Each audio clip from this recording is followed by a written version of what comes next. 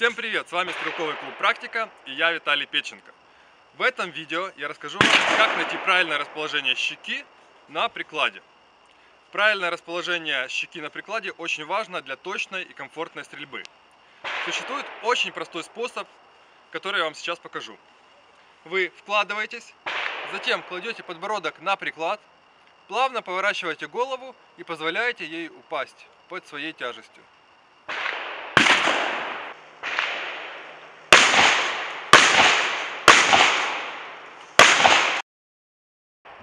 Это и есть правильное расположение щеки на вашем прикладе.